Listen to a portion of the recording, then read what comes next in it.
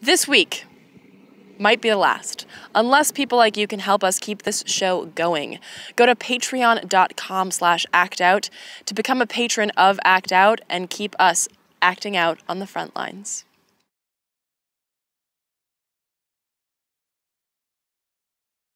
This week, a wall is a wall until it's the sky.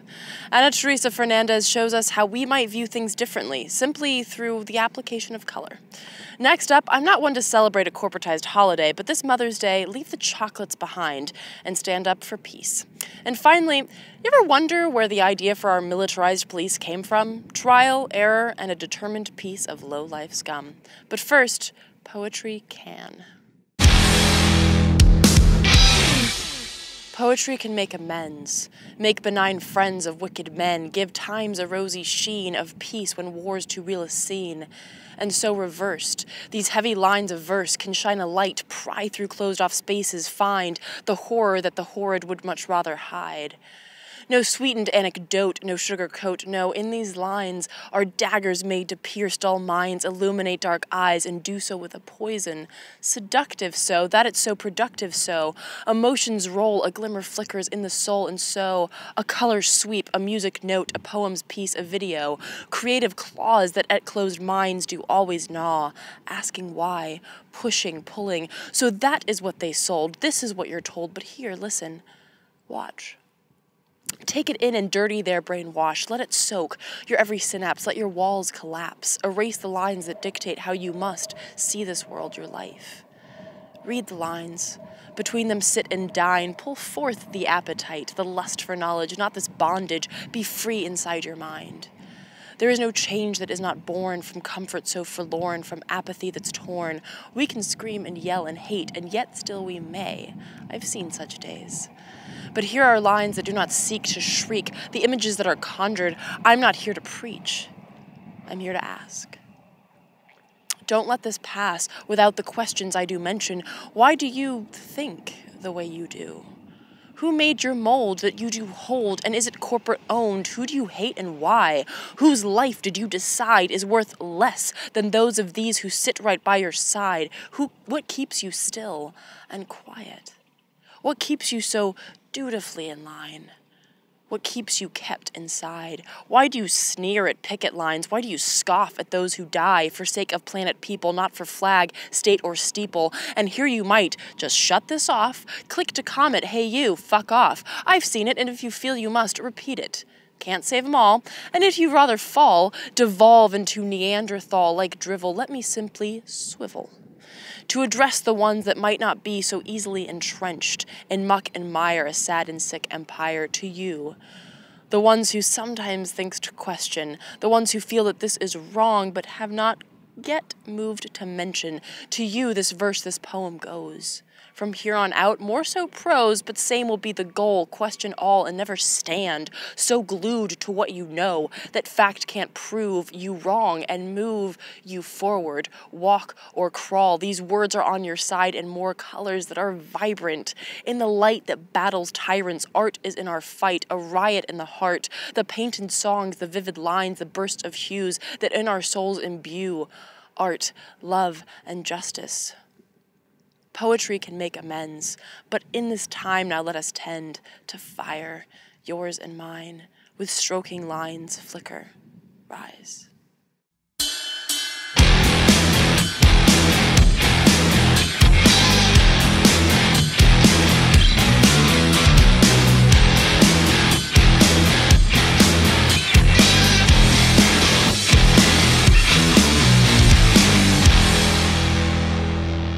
Welcome to Act Out. I'm Eleanor Goldfield, and this is your tipping point. Art. From poetry to theater to paintings, sculptures, all that that spoken word wrapped up in a verse is what today's interview embodies. The power of art to flip your vision, to question how you question, if you do question.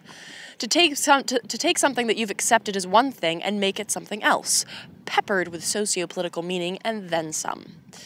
Ana Teresa Fernandez is an artist who works in a variety of mediums, from ice sculpture shoes to performance art utilizing a white stallion and a sinkhole.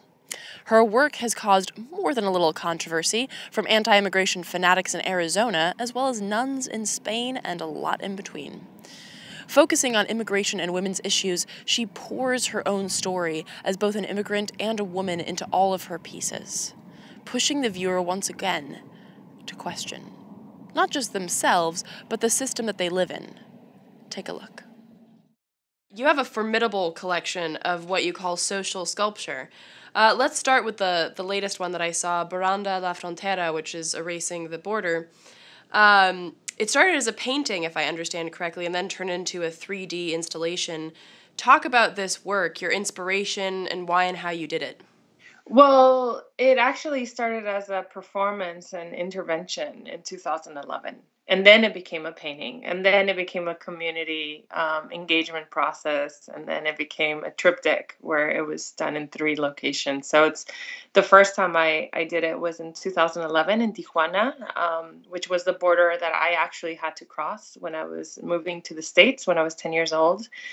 Um, and it uh, at the time, you know, uh, there was so many stories of people being deported, people that have existed and lived in the states for over 20 years, and families being divided, and the, all these structures that you know um, were being held in place all of a sudden became ruptured.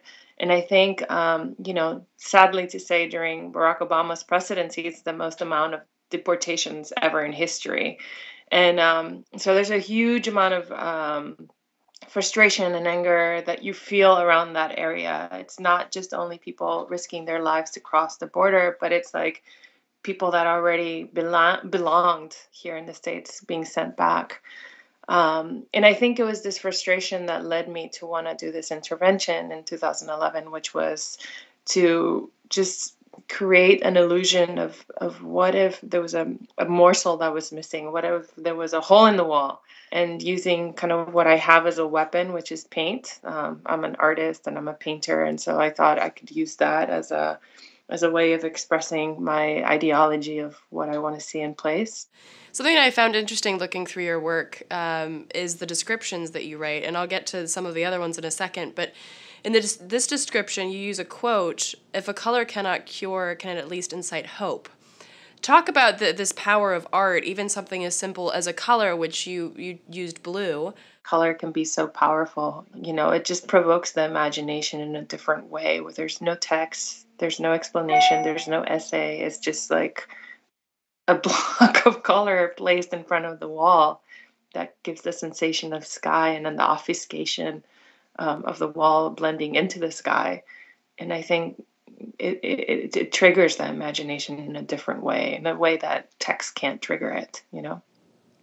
And I'm also curious, it's sort of in the same the same idea of, of painting onto a wall and having it mean something else. The uh, the piece you did, the Pillars of Strength, um, and it speaks so well to this idea of opportunistic art. You know, you, you walk into a place and you're not supposed to necessarily use that. I mean, obviously, the border wall isn't meant to be, you know, a canvas, um, but then you you create a canvas out of it by saying, you know, okay, well, what if we look at it this way? Um, talk a little bit about like how you go about, you know, using this sort of opportunistic style of of uh, of painting in whether that be the pillars of strength or like the border wall i think spaces and objects have thrust you know and it can and, and, and not just like in the scientific term but in the, but i feel like um, ingenuity it's it's it's like a, a type of visual vocabulary of of seeing the opportunity in in an object beyond its like invention. And the Pillars of Strength, when I was invited to do a, a residency there, and um, that space is a combination. Half of it is a convent, and the other half is an artist residency for artists, which I think we pray in different ways, but.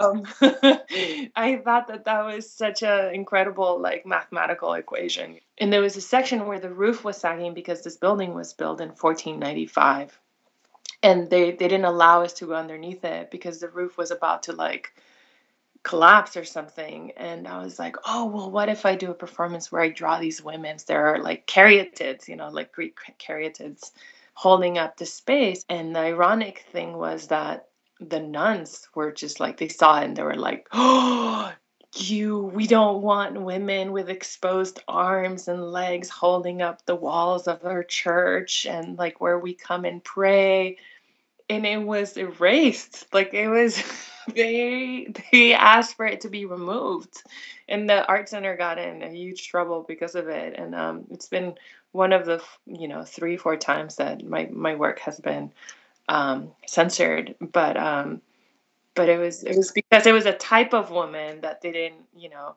want holding the the the church walls up. Your work is so rich in allegory, and so it's clear that you're incredibly well read and you're incredibly in- intellectual. You use everything from Plato's cave to poems to writers to activists um, that inspire your work. So I'm I'm kind of curious how do you how do you find these pieces? And uh, you also said that you're very politically active. How do you weave politics into that at the same time and is it is it important to you like as a feminist and also as an immigrant because there's this horrible uh, stereotype that immigrants are idiots and they don't they're not well read and you know they're just here to steal our jobs. Um, so how do you like do you feel that it's important to weave this intellectual aspect as a woman and as an immigrant as well as the, the political side of things? Yeah, I mean, I have a little joke, but um, people are always like, "Oh, you're from Mexico? Your English is so good," and I'm like, "Well, you should hear my French and my Portuguese and my Italian. They're pretty good too." You know, like, um, it's it's. I think it's it's it's so incredibly telling uh, of how people's perspectives, how narrow they they are in terms of like what their outlook is as of like on a Mexican or on a Salvadorian or on a you know immigrant, whatever whatever label um, country you want to give it. But I think you know I I I was incredibly um, privileged in the sense that I grew up in a very very like creative and intellectual family that that was kind of like the priorities. You know, um, they were heavily focused on just kind of consuming information and not not just information in terms of like what's information today kind of the, the ideology of information but like consuming information via literature via experience visual experience you know writers artists thinkers as i got older you know like you you, just start um, kind of informing your imagination in a different way you know and, and being able to see different just different ways of experiencing the world you know through through words and and through images. And so you start picking up on moments that are magical within the everyday you know and you start kind of having a more microscopic look um, as to what the possibility is you know and, and just being enchanted with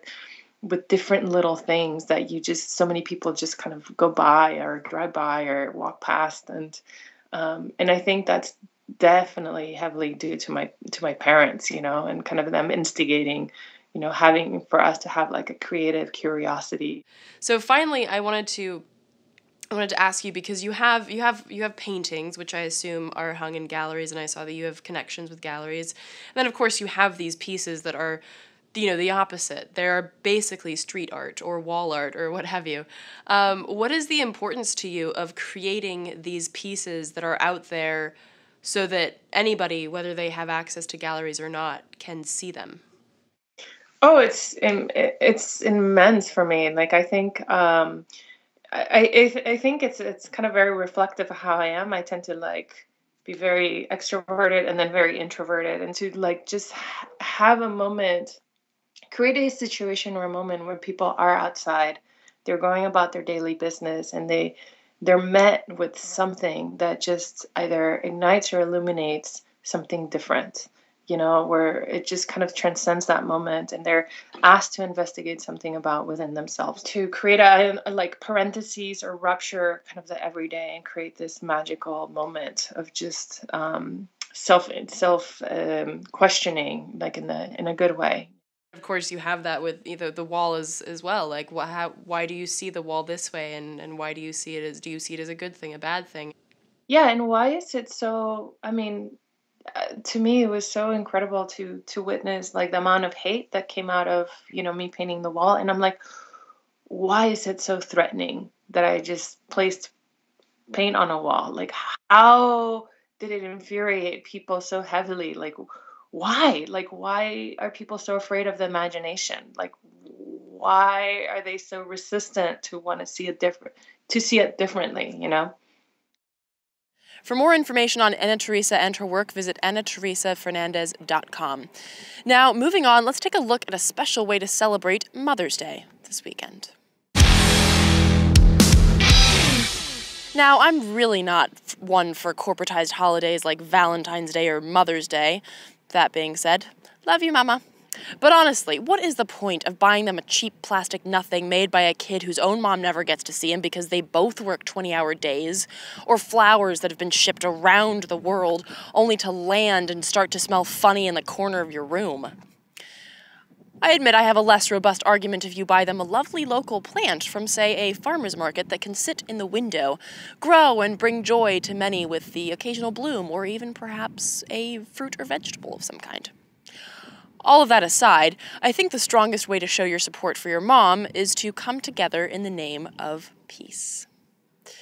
Julia Ward Howe, abolitionist, social activist, poet, and the author of the Battle Hymn of the Republic. It's a little too much God and jingoism in that one for me, but nonetheless, as an anti war activist, she responded to the bloodshed in both the American Civil War and the Franco Prussian War by penning the Mother's Day Proclamation. The Mother's Day Proclamation is an open letter of sorts to women around the world, calling on them to unite for peace and take a more active role in shaping the foreign policy of their governments. In the proclamation, she writes Arise, all women who have hearts. Whether your baptism be that of water or of tears, say firmly, we will not have great questions decided by irrelevant agencies. Our husbands shall not come to us, reeking with carnage for caresses and applause. Our sons shall not be taken from us to unlearn all that we have been able to teach them of charity, mercy, and patience. We, women of one country, will be too tender of those of another country to allow our sons to be trained to injure theirs. From the bosom of the devastated earth, a voice goes up with our own. It says, Disarm, disarm. The sword of murder is not the balance of justice. Blood does not wipe out dishonor, nor violence vindicate possession. As men have often forsaken the plow and the anvil at the summons of war, let women now leave all that may be left of home for a great and earnest day of council. I'm not religious, but let me just say, Amen, Julia. A fucking men. Now, fast forward some hundred odd years or so, and this message rings powerfully against the din of drones and endless warfare. And this weekend, it is this message of women's power and military disarmament that will once again be voiced at Code Pink's Mother's Day Peace Festival. This coming Saturday, the 7th, speakers, performers, and activists will come together outside of the White House to, as Code Pink puts it, reject violence around the world and build local peace economies. If you can't make it to DC, hell, create your own Mother's Day peace shindig. If you're a mom, I know that you know other moms. And what better weekend to start some community building around peace and justice? And also show your support for moms and peace and uh, for moms for peace around the world using these hashtags Moms for Peace and Disarm for Moms.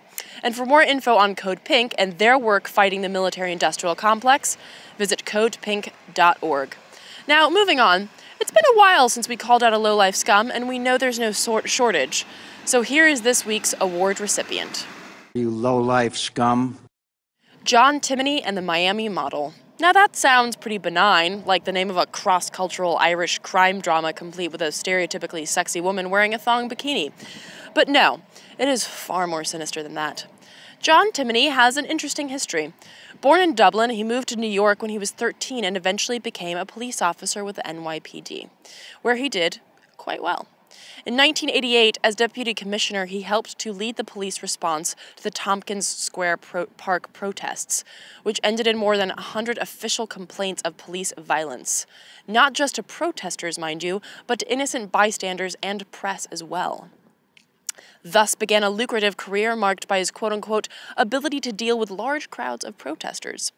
In 1998, he moved to the Philadelphia Police Department to work as police commissioner, presiding over the police tactics and actions in the 2000 Republican National Convention that witnessed the now well known tactic of infiltrating and spying on activist groups, raiding workshop space, and detaining activists who were making signs and puppets for more than two hours with no warrant, and of course, the violent arrest of more than 400 people. Timoney then made a brief foray into the private sector, like you do, before heading down to Miami for a cool $8 million in order to outline police tactics for the upcoming free trade area, free trade area of the Americas Summit in 2003. What followed has been dubbed the start of paramilitary policing in the U.S., and as one writer from the St. Petersburg Times wrote, the show of force would have made a Latin American dictator blush. Journalist and filmmaker Jeremy Scahill was also there as a reporter with Democracy Now! and describes the scene like this. The forces fired indiscriminately into crowds of unarmed protesters. Scores of people were hit with skin piercing rubber bullets. Thousands were gassed with an array of chemicals. On several occasions, police fired loud concussion grenades into the crowds. Police shocked people with electric tasers. Demonstrators were shot in the back as they retreated. One young guy's apparent crime was holding his fingers in a peace sign in front of the troops. And they shot him multiple times, including once in the stomach at point blank range. It was clear from the jump that Timoney's men came prepared to crack heads, and they did that over and over. Scahill goes on to describe how his colleague, Ana Nogueira, who was wearing press credentials in plain sight, was not only violently arrested, but forced to strip in jail in front of male officers and held in jail until 3.30 in the morning, only after Scahill posted her $500 bail, even after continued calls from both Democracy Now! and the ACLU. Finally, in Scahill's report, a chilling and telling sign of things to come. Miami Mayor Manny Diaz called the police actions last week a model for Homeland Security. FTAA officials called it extraordinary. Several cities sent law enforcement observers to the protests to study what some are now referring to as the Miami model. And if you were ever part of an Occupy encampment, you might recognize these tactics, whether that be the embedding and inciting violence or just plain and simple violence. Charging peaceful protesters, beating them, unlawful search and seizure, unlawful arrest, detainment, so on and so forth. Or, if you happen to hear about Bahrain, Yes, Bahrain. Part of the Arab Spring uprising in 2011, where pro democracy activists rose up against not only their own corrupt government, but the support forces brought in from both Saudi Arabia and the United Arab Emirates, who worried that any successful uprising in Bahrain would spread. In response to their demands for justice and equality, protesters were met with everything from tear gas to torture as they assembled around Pearl Square in the capital, Manama. Ali Alderi, a Bahraini journalist and activist who was there at the time, describes the scene of a beautiful uprising. Sunni and Shia praying together, activists putting roses in the barrels of military guns. Sliced by the extreme violence of security forces, human rights groups reported multiple deaths due to the use of tear gas alone. American made, by the way, one of old Timoney's favorite tools in his less than lethal arsenal. Don't let people tell you that our manufacturing sector is dead. So, this is all horrible, but why am I bringing it up? So, this jackass went to Bahrain and took his methods with him. It's not like we're new to the idea of barging into countries, killing random people, and calling it consulting or democracy. So, why bring up John Timoney and the Miami model today? Well, aside from the fact that our police forces have militarized faster than a right winger confronted with facts, it is important to know that these tactics are homegrown. This increase in the use of so called less than lethal weapons like tear gas, rubber bullets, and sound cannons, and an, an ever growing rift between police brutality and systemic accountability are homemade. They're not some Middle East, South American, or Asian problem that somehow found its way into the cozy confines of our democracy. That shit was made here and exported. Like Naomi Klein outlines in her book, The Shock Doctrine, We've been trying these shock, awe, and payout schemes around the world since the 1950s. And after 9 11, the climate was just, just about right to bring them home. And just like with 9 11, the publicized reasons always tout national security, freedom, and our way of life. Timoney has on many occasions argued that his tax, tactics simply rest on the tenets of things like keeping the streets clear so that people aren't interrupted and inconvenienced by those pesky protesters. Although, isn't it funny how a, an all out riot tends to block more traffic than a peaceful protest? Yeah, I call bullshit, and so does the rest of the 99%. And that is why I bring this up. So that we not only understand our country's role in global terror, but understand that we, the 99%, are fighting around the world. And just as low-life scum like Timoney seek to spread their psychopathic schemes anywhere and everywhere that'll take them, we have to do the same. Fight here, in your streets, in your towns, but connect with those fighting all over the world because, for fuck's sake, we are all fighting the same damn evil, the same low life scum. And tactics like this Miami model will not be overturned unless we overturn them. That shock doctrine has banked the oligarchs billions, and they're not going to let go of it just because we took the time to make a protest sign. Find inspiration and willpower in the stories of those who stood up and keep standing up. Find power in your powerlessness, as Václav Havel writes. Fight fascists because they are fascist, not because you think you'll win, as Hedges writes. And for those fellow existentialists out there, mooch some motivation from Ali Alderi's Remembering Pearl Square. For that brief period, we had lived beyond sectarianism. The square was a different way of life. It made you feel, as Palestinian poet Mahmoud Darwish once said, that there was something worth living for on this earth. I cannot see any meaning beyond the life fashioned by the Arab in his springtime, the life that has turned so many cities in the Arab world into squares of liberation. This is a time that we will always be proud we were a part of. Five years later, Bahrain is still fighting for life beyond sectarianism because they know, as so many of us know, that those moments only exist in the ongoing fight against corruption, greed, war, and hate, against low life scum worldwide. You low life scum. Hopefully, that shot of resistance, that dose of dissent, will get some asses in gear. To read more of Ali Alderi's accounts on Bahrain's uprising and indeed seven others, check out Diaries of an Unfinished Revolution. Key word there being unfinished. Ask yourself what it would take for you to give of yourself, time, energy, to fight for something better, as opposed to living in a system made for dying. And if you already are, well, fucking A, let's keep going. Thank you, everyone, for watching, and please do spread and share this with all of your friends, foes, and people you don't know. Check out the last slide to see all of the sites that I mentioned in the show, and be sure to follow us on Twitter, like us on Facebook, and subscribe on YouTube. From the Devil's Den, good night, and act out. And real quick, to keep independent, non-corporatized media like this show going, donate at occupy.com slash donate. If you'd like to donate directly to Act Out, visit patreon.com slash actout.